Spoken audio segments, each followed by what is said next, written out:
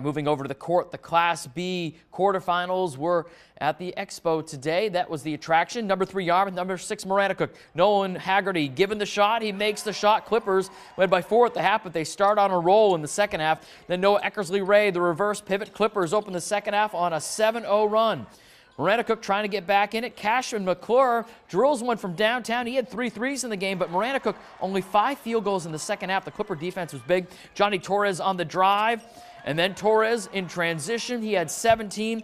Yarmouth takes it 43 33. The Clippers moving on. Number seven, Mountain Valley, taking on number two, Cape Elizabeth. Capers hit the glass early on. Andrew Hartel, the put back inside and a nifty one. Mountain Valley turns to Keegan Davis. The nice move in the finger roll for style points. He had 16. Then Davis steps out. Falcons would go up 19-17 in the second, looking for the big upset, but the Capers go back to Hartel on the cut. Liam Jacobson finds him. Then Hartel at the foul line, the reverse pivot, and one. He had 15 for Cape. Finn Bovey had 16. Here he sets up David Harry for the three. 47-31. Cape the win. They'll face Yarmouth Thursday night. Number one, Wells, defending regional champ, and upstart Freeport, the eight seed. Wells had an 11 point lead in this one, but here comes Freeport. Toby Hope to Nate Thomas inside. We're tied at 36 late in the fourth. Then Erickson Shea hits a cutting Holt, and Freeport takes the lead with about four to go. Wells decides they have to pound it inside, and they do. Cam Cousins the turnaround and the basket and the foul. Wells goes up one. Falcons have an answer. Gabe Wagner gives Freeport the lead back. But the Warriors go back to Cousins again. They go up 41 40 in the late stages. Then just over a minute to play. Warriors up three. Matt Sherburne ices it with the basket and the foul. 52 45. Wells with the win over Freeport. Number five, Gray. And number four, Spruce Mountain. Sonny Hebert, remember the 51 state title team at Livermore Falls, cheering on his Phoenix at Spruce Mountain. But it was Gray coming out shooting hot. Oliver Grant from downtown. Then Josiah Rotari from downtown. They had five threes in the first half, built a big lead. They were up 26 10 at the break. Zach Parmelo, a three. He led the way with 12 for the Patriots.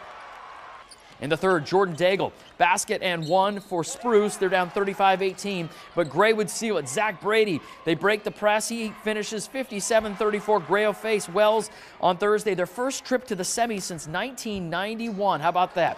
Southern D-Boys up in Augusta. Number two, Valley. Number seven, Temple Academy. End of the first half. Nathaniel Wiles beats the buzzer. Temple up 24-15 at the break. Valley rallies in the third. It's a sweet hoop by Josh Brown. Game tied at 30. Then Joey Thomas for three. He had a game high 23. Valley with a 45-44 win. Forest Hills and Seacoast Christian facing off in the 4-5 game. Seacoast builds the lead. Marlon Bernardo drives for the hoop and the foul. Then Jesse Town on the fast break. Guardians up 11 at the half. Forest Hills rallies in the fourth. Hunter Cuddy for three. He had 18. Then Jacob Rivas drives for the hoop and the foul. Game tied at 62. Seacoast responds, though. Town ahead to Bernardo, who had 20, 78-67, Seacoast the victory. Defending regional champ and top seed Greenville facing Rangeley. All Lakers from the start. Devin Boone, the short J, nine of his 14 came in the first. Then Connor D'Angelo spots up for three. He had 14 2. 56-22, Greenville's moving on. Southern D quarters, Islesboro facing Temple Academy. Islesboro with only five fully healthy players, but Keisha Scott making the most of her playing time. Had 19 and the Eagles led late in the first half.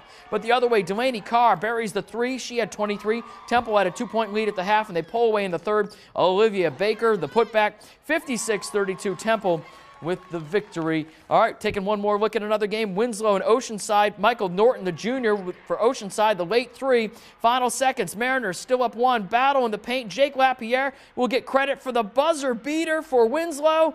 39 38. How about that Winslow moving on? That right there, guys, the drama of the